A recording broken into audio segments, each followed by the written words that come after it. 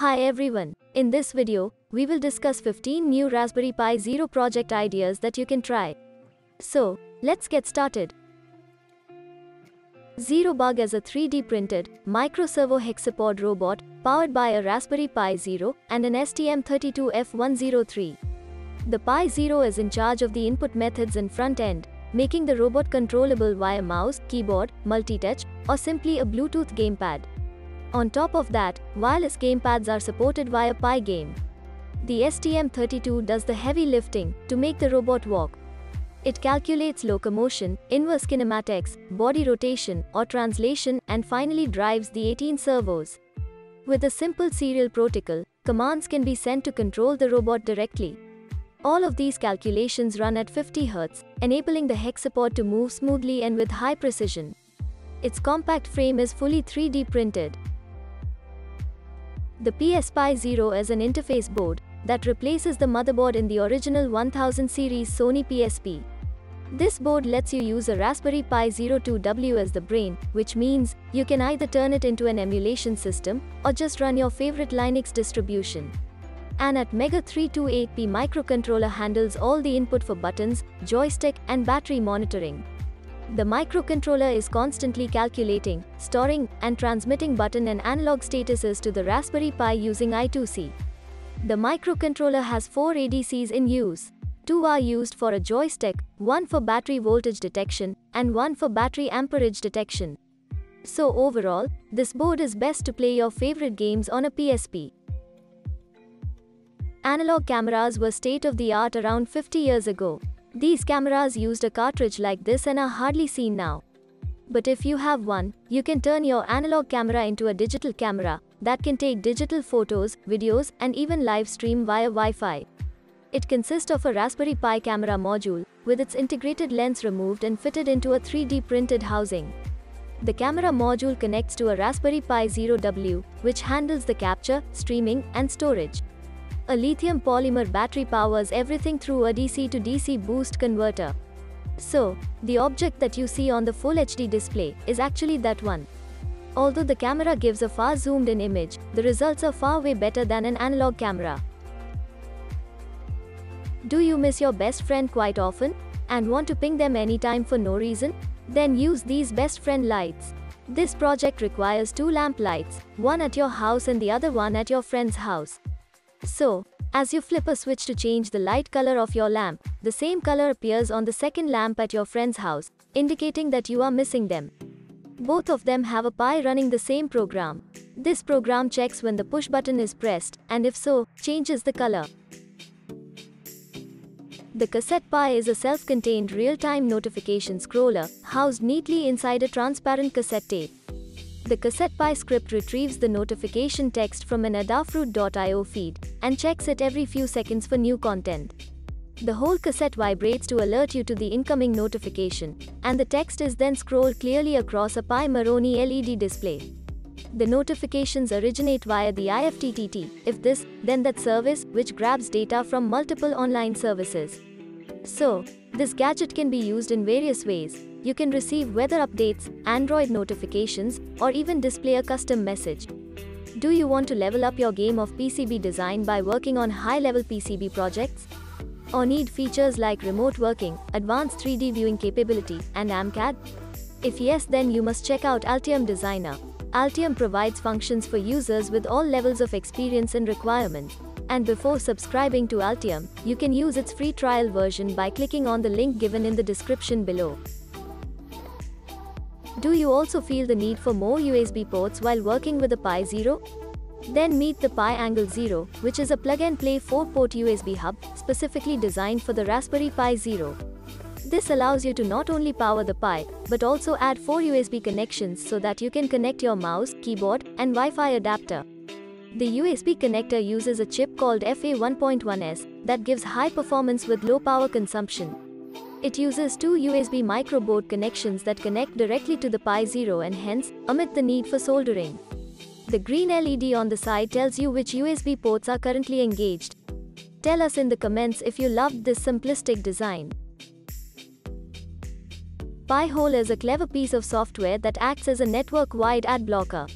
It enables you to block ads on websites, ads in apps on your mobile devices, and even on your smart TV, regardless of the software they're running.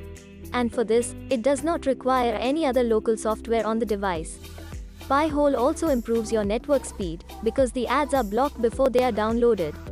This also saves data if you're on a limited data plan. A web interface lets you interact with your Pi-hole and view stats on your network traffic. You can also set the Pi up to run the DHCP service, which allows the Pi-hole to identify devices by their name rather than IP address, and even integrate powerful third-party anti-malware and anti-phishing DNS services. The Pwnagotchi is an awesome project built for the Raspberry Pi Zero that allows users to capture Wi-Fi handshakes as PCAP files. Pwnagotchi learns from surrounding Wi-Fi environments in order to maximize the crackable WPA key material that it captures. It looks for clients on Wi-Fi networks and then it authenticates. It sends a message to a wireless client to disconnect from the access point that they are connected to. After disconnecting, when the device again tries to connect to that access point, the Pwnagotchi listens to that handshake process and saves that entire message sequence to a PCAP file. This file can then be opened on a computer using Hashcat or Wireshark to learn a bit deeper about Wi-Fi. So, only use Pwnagotchi on your home network to learn about wireless security. Won't it be cool if you could look like the person you admire the most? So, here we are to help you with that. This is a face-changing projection mask that consists of a white 3D printed mask, a Raspberry Pi, a tiny projector, and a battery pack. Whether it be a celebrity, a fictional character, or any animation, this mask quickly projects anything to change your appearance. The way this works is that the mask has a mount that holds a small DLP projector facing back at it, and that projector is connected to a Raspberry Pi. The result is that you can change the way the mask looks by projecting different videos and images onto it. You can do cool animations, or just steal someone's face. It's a pretty creepy concept, also called projection mapping. The Pi spectrometer is a Python implementation of an optical spectrometer. It is a tool that could measure the wavelength of homemade dye lasers and perform some fluorescence spectroscopy. The hardware of the project consists of a Raspberry Pi Zero 2W and a mini spectrometer. The overall design of the project is compact.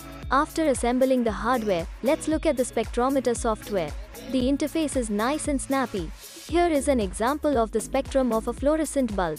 The peaks at 448, 498, 558, 668 nanometers are mercury. Europium, one of the lamp phosphors, is visible at approximately 617 nanometers. The bottom tab has three sliders that alter the peak width, threshold, and filter of the spectrum. Are you bored of your regular alarm clock? Then replace yours with this origami-based sunrise lamp.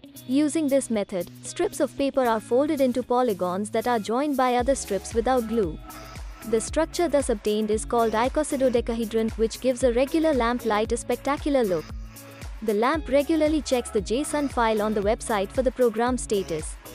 The lamp has two effects. The first is a drifting effect that slowly dims from full blue to a low level as the night light. The second one is the Mr. Sunshine effect, which slowly warms to full brightness at a scheduled time in the morning. So, isn't it the best way to wake up?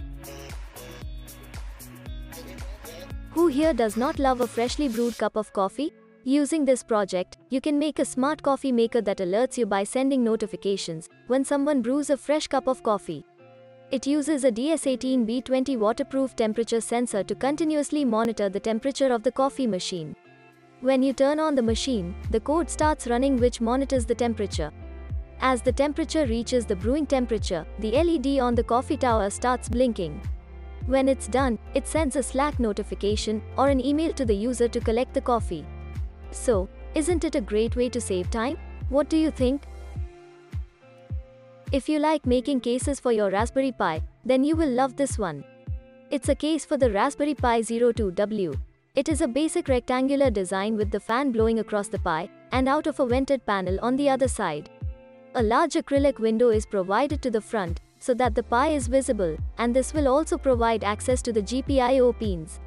After the 3D design, it's time to print and put the Pi inside it. It also uses a small aluminum heatsink with a 40mm, 5V, clear RGB fan that provides more than enough cooling. The fan is connected to a 3.3V pin on the GPIOs. Now, it's time to put the acrylic cover for the case. Plug your power supply, monitor, and USB devices and boot it up. So, how does it look? Tell us in the comments. Our next project is a Wi-Fi security camera that can be accessed over the internet. It uses an operating system called motionEyeOS on the Raspberry Pi, which is a web-based, mobile, and tablet-friendly surveillance system. It can be used with both the Raspberry Pi camera and any USB web camera plugged into the Raspberry Pi. By assigning a fixed IP address to the camera, you can also set up motion detection with email notifications, take still images, and time-lapse movies. You can even configure it to upload media files to network storage locations or to cloud storage services. Using a suction cup, you can mount this camera anywhere you like to keep an eye on your house. The Super 8 camera was one of the spectacular video recorders of its time. But this model is harder to be seen now. This project modifies that antique hero to work with a Raspberry Pi. From the outside, it looks the same, but from the inside, the old housing film is replaced by a Raspberry Pi Zero, a rechargeable battery, and a power converter circuit. The camera starts filming when the user presses the red button. It uses the Pi camera module, but still makes use of the camera's built-in optics, which include a zoom function. The camera can connect to a Wi-Fi network and can stream live video to a computer, or it can record video files to an internal SD card. This clip is captured using the modified Super 8 camera. Although the video quality is not good, it might have reminded you of your childhood memories. Share them with us in the comments. So, we hope you loved these Raspberry Pi Zero project ideas. Tell us your favorite one in the comments. Drop a like and subscribe to our channel for more such videos. If you also have some amazing projects with you, share them with us. Thanks for watching.